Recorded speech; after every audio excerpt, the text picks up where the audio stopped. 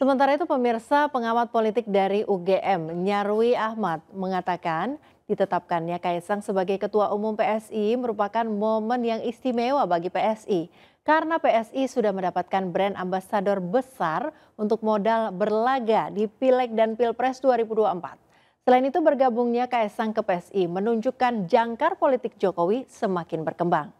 Meski PSI partai non-parlemen, namun prospeknya cukup potensial untuk menantang partai-partai parlemen. Berikut pernyataan Nyarwi Ahmad.